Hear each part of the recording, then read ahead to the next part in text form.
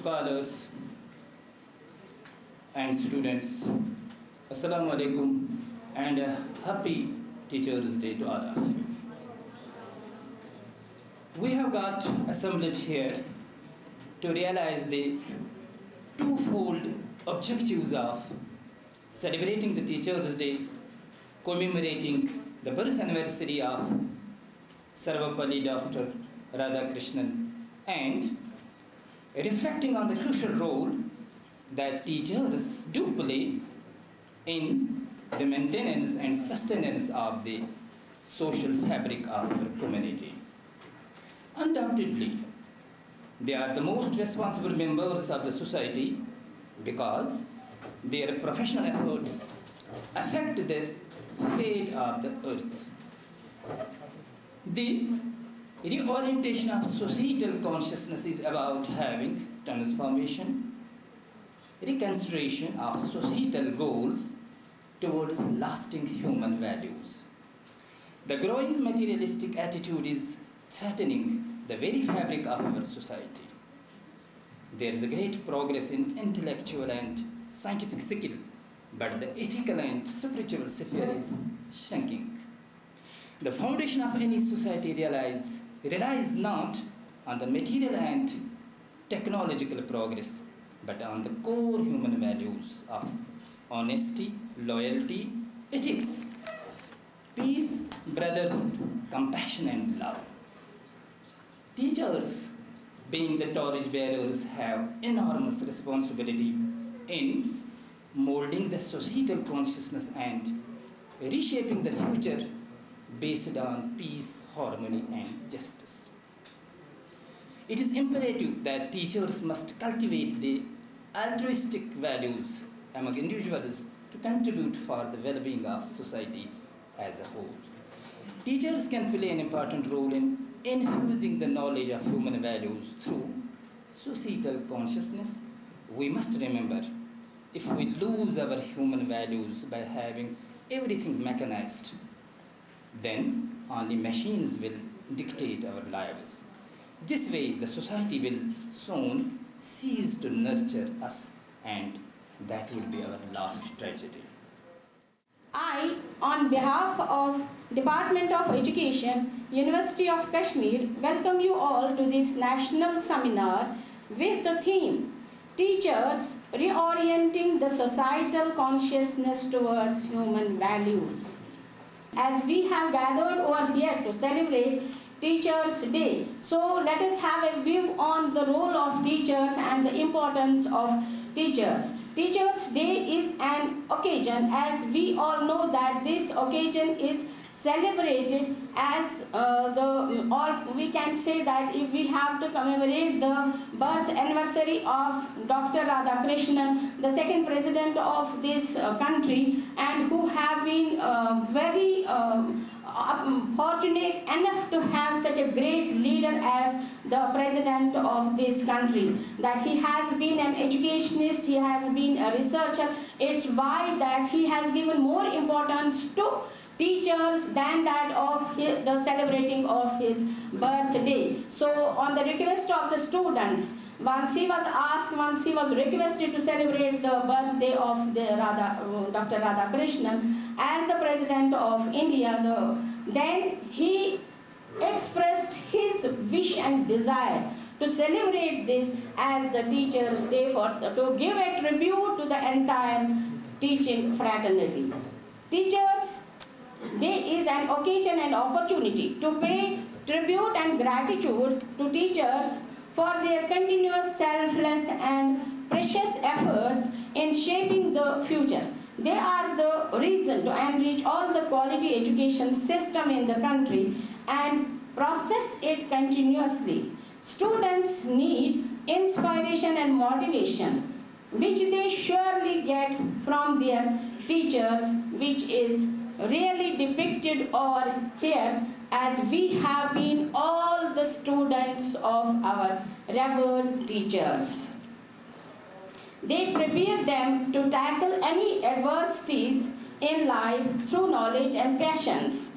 Teachers take the lead in molding them into worthy in molding them into worthy place to face the world boldly.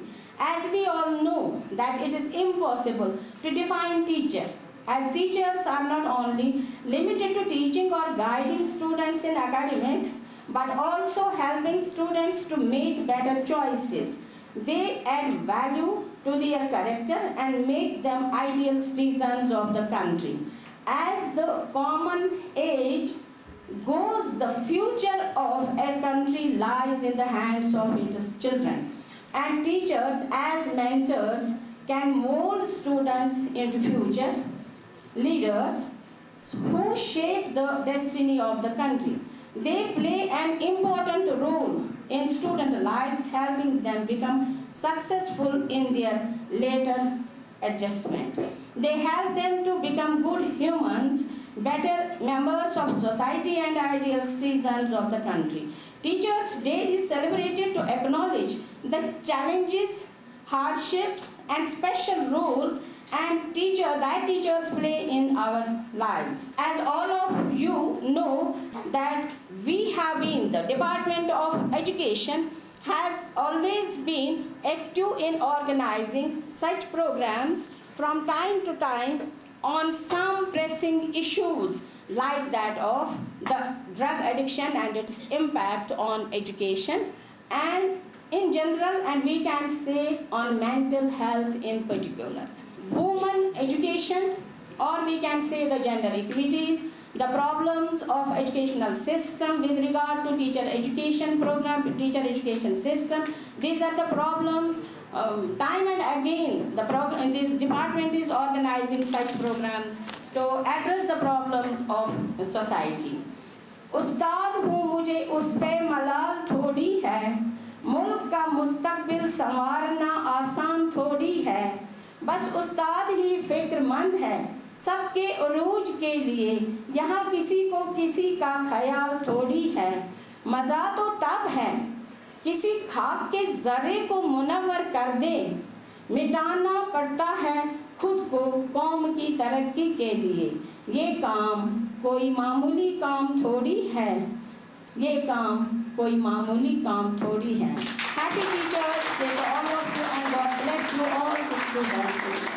I feel pleasure that every year Department of Education is celebrating Teachers Day with seminar. This is uh, their uh, routine activity on Teachers Day. At the same time, when I uh, see myself as teacher and then as student, uh, there is huge difference. There is some uh, issues that I always face as person. When I consider myself as a teacher and there is a lot of responsibility, look towards the responsibility that what I inculcate to my students, that's a big question.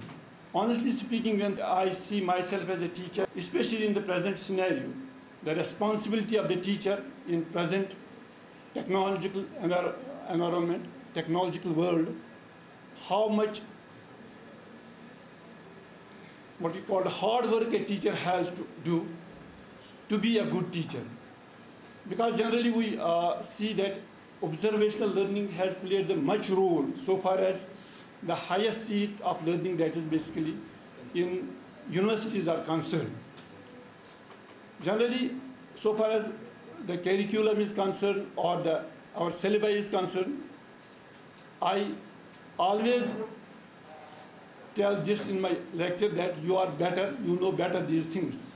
But here at university level, it is only basically the experience and application of that knowledge that matters, not basically what you teach. You can, you can learn these things by your own way, but the only thing is that how you are able to use it in a practical sense, using your experience to- towards the world or towards your life. That is basically the main concern of a teacher to be taken into consideration while we talk about Teachers' Day. That how much honest, how much competent am, I am with these things to inculcate something to the community at this juncture. We see, we talk about human values, and we forget ourselves that while we stand in the society, what is our role in the society as teacher and where as individual I stand in that context. We talk about a lot of issues in the society and talking just not being part of this is basically the gap that we are finding as a teacher. We are part of the society, we ignore that. We say this is the society of some others. We, a little bit, we consider ourselves that this will not affect us. But finally, we see our children, our surroundings get affected, and that automatically have effect on our own life. So that is the main issue that I think that teacher should consider. I, I, I told you here as teacher, I'm talking about as teacher, what is the responsibility of the teacher. Basically, I'm a student of sociology, and uh, in our books it is written that there are certain agencies of socialization, and at the top we keep the family. That the family is the first agency of socialization. Probably the books were written very old books, and the writers were also. I think we should write now the books in sociology and education also. We should now keep the schools and formal education as a first agency of socialization because when, when we see that earlier we used to send a child of six years to the school and probably that was the reason when it was considered as the first agency of socialization. Now we send our wards and children at the age of one or two to the crèches or we send them to the pre-nursery schools and probably it has now taken a preeminence for the first agency of socialization. So the focus of developing the what we see that the society at present lies on the shoulders of a teacher. And second, we see that uh, when we talk about the equality, there we see that the what Taslima already talked about the gender equality. We see that the colleges, schools, and pre-nursery schools were opened with this uh, condition or with this motto that there will be gender equity, there will be uh, access to the males, to the schools, to the colleges, and to the higher education institutions. So we see that it is the equity part which has been promoted by the by a teacher. Simultaneously, we see that there is a there is a great program. We see we say that education is the best leveler of inequalities. I, on behalf of the University of Kashmir, on my own behalf, congratulate Department of Education for holding this today's one-day national seminar on the teachers day थे वो दिन कि खिदमत उस्ताद के इवज। थे वो दिन भी कि खिदमत उस्ताद के वज दिल चाहता था, हदिया दिल पेश करूँ। Thank you the teachers their contributions if we see our predecessors और those primitive societies, what was the role of teacher? He was considered or his word was considered the word of the Bible. So naturally, they used to get that quantum or that level of respect also. But these were olden days. Even our forefathers might not have lived in that society when teacher's word used to be the final, or rather word of Bible. Then came the era of writing the books. Academicians, intellectuals, they started noting down or pen down their ideas, pen down their knowledge, pen down their experiences. This was the second phase. Probably uh, it didn't diminish the importance of teacher, but the learners or the students, they had some alternative sources to learn. Teachers plus the books. And then came the present era, the flood or the flow of knowledge. You have internet, you have so many online resources available, but this doesn't mean it diminishes. Of course, to update yourselves about the subject matter, yes, you have many sources. But I again like to reiterate, re-emphasize, it has not diminished the importance of teacher.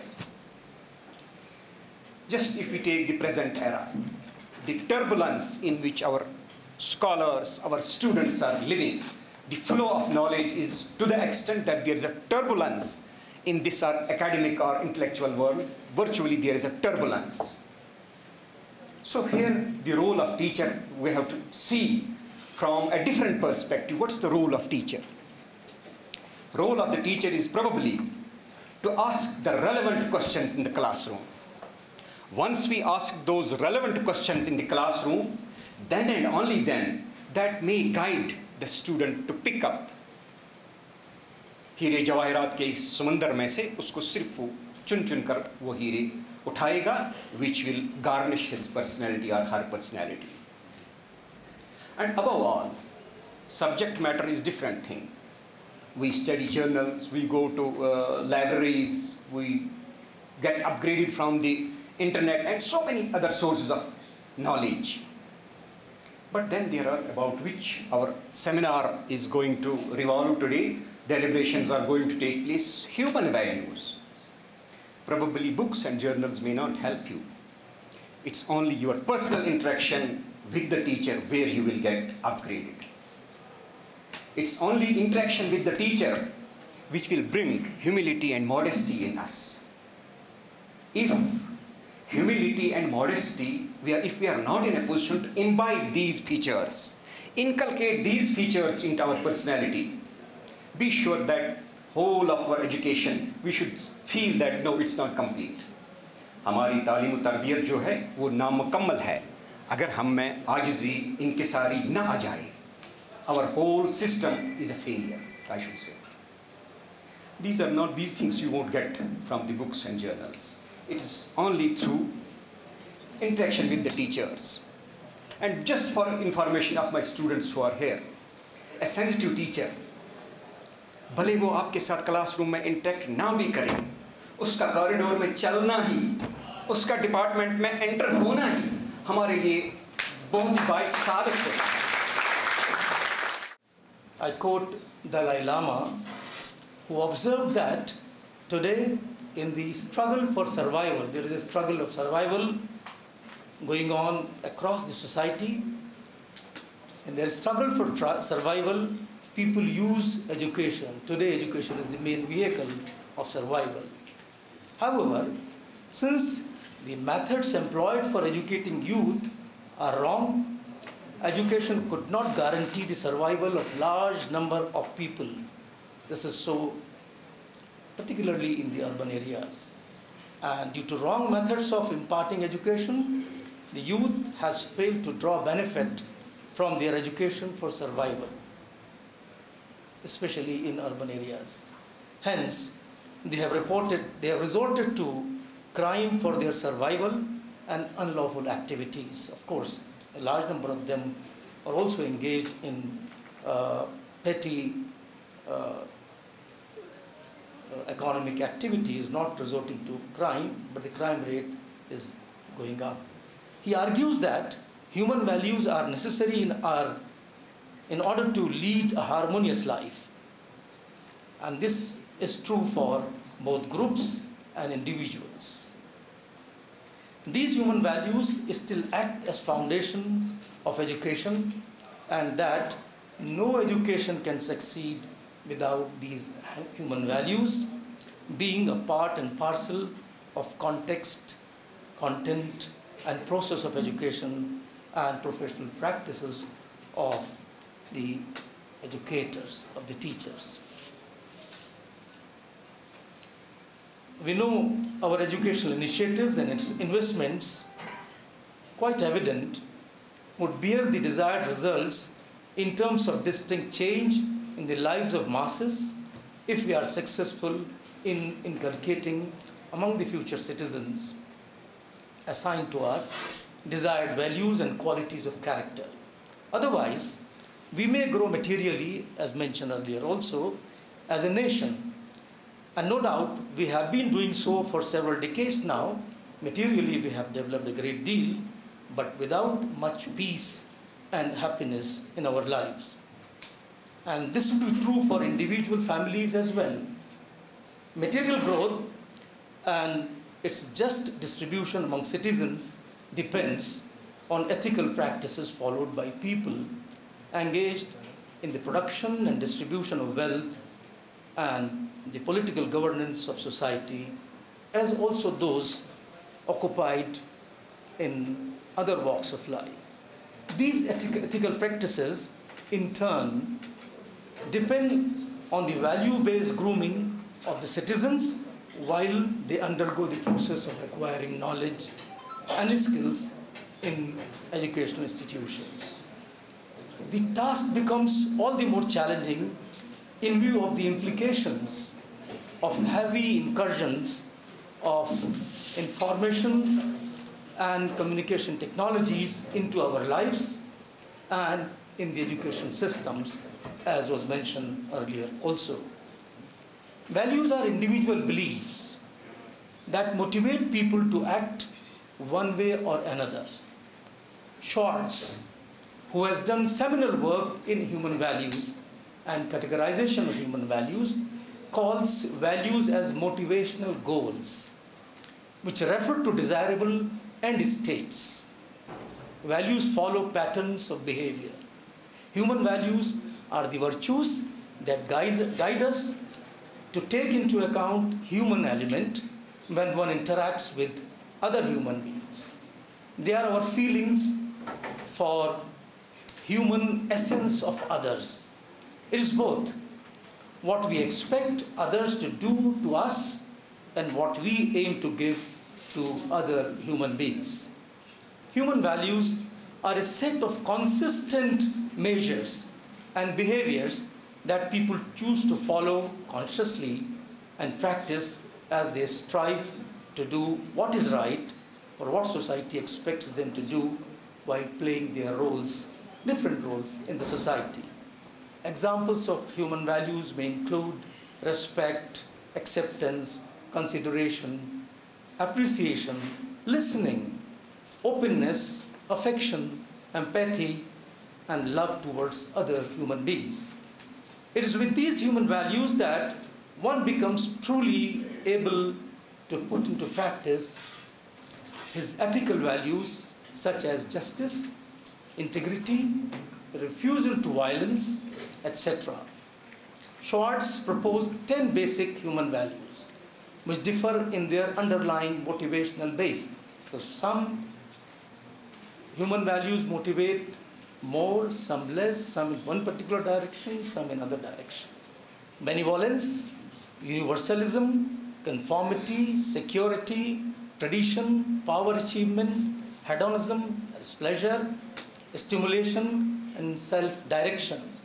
One of the two major dimensions of Schwartz's model of human values is self-enhancement, self-promotion, self-achievement, self-transcendence, social focus. In the first, it is focus of the self. In the other, it is the focus of the society, focus of the others. Self-enhancement mainly consists of the values of achievement and power. We want to gain achievement, we want to gain power, as well as some part of hedonism. We want to have some pleasure as well. People valuing self-enhancement believe that, for example, success as well as showing competence in, is important in life. Yes, it is. And they are not wrong perhaps in that. But at what cost? On the other hand, on the other end lie self-transcendence values, namely benevolence, universalism. People who value self-transcendence believe that, for example, equality and caring for others are more important. They consider others. We give umpteen number of examples where teachers have followed this particular dimension of the values and have made, uh, brought tremendous changes in the life of their students, especially at the school level. Societal consciousness is the consciousness, consciousness shared by individuals within a society. So here it would mean that consciousness about human values is to be shared by the people which would happen by following a systematic process of their grooming. Lama argues that this process of development of human values begins much before the teacher comes into the life of a child at the hands of his or her mother who initiates the child into set of human values of love care and respect. However more planned and faster grooming of children in values as also in other aspects of learning and development takes place in formal education setting. And therefore formal and vibrant it's not just formal formal and vibrant setting is important for value development.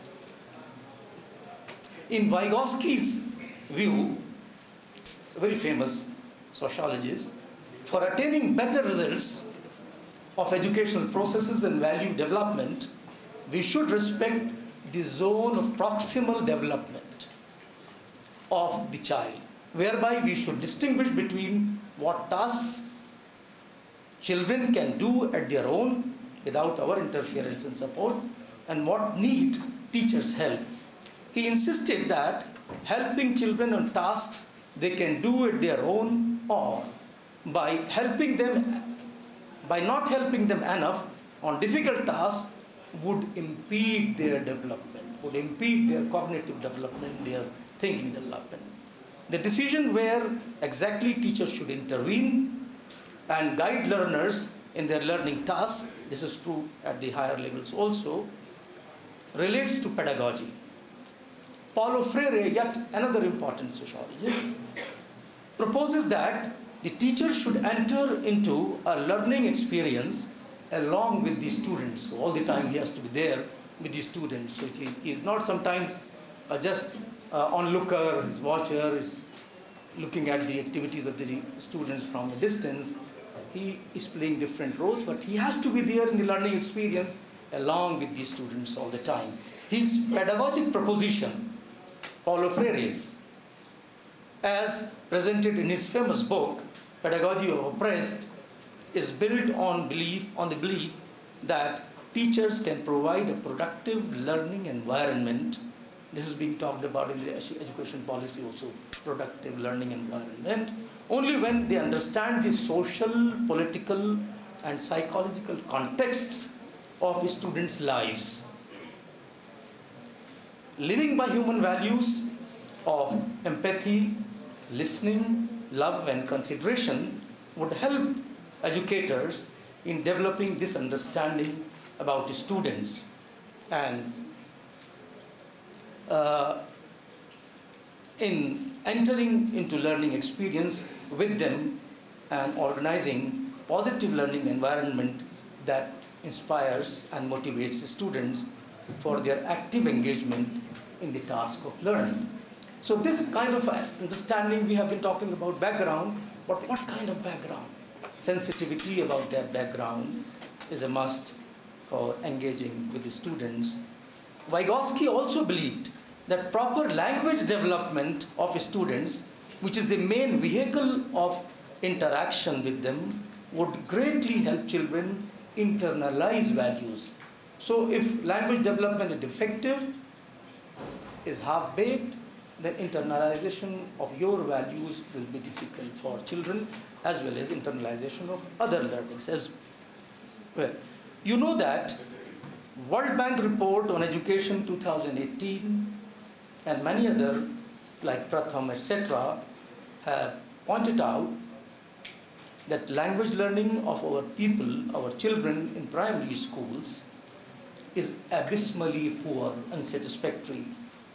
They say that students of standard 3 cannot write even a single word so if the language development is defective, then later on perhaps value development also will be defective besides other educational developments. Keeping in view the contemporary problems of Indian society and the challenges that it faces today, the National Education Policy 2020 declared that the purpose of the education system in India is to develop good human beings, capable of rational thought and action, possessing compassion, and empathy, courage and resilience, scientific temper, and creative imagination with sound ethical moorings and values.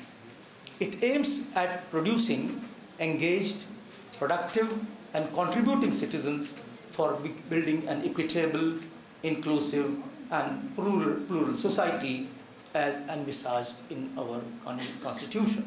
Definitely, uh, our first teachers are our parents, definitely. So, uh, this day is dedicated to our parents also, who right from our uh, infancy groom and Dr. Akhtar was talking about human values and the type of values they inculcate in us from infancy itself and we keep on growing, go to school, at school we have different set of teachers, you know, uh, we may be impressed by some teachers and uh, we have that fear of some teachers who are very strict with us, but every teacher has or uh, have their own uh, way of teaching and own way of disciplining.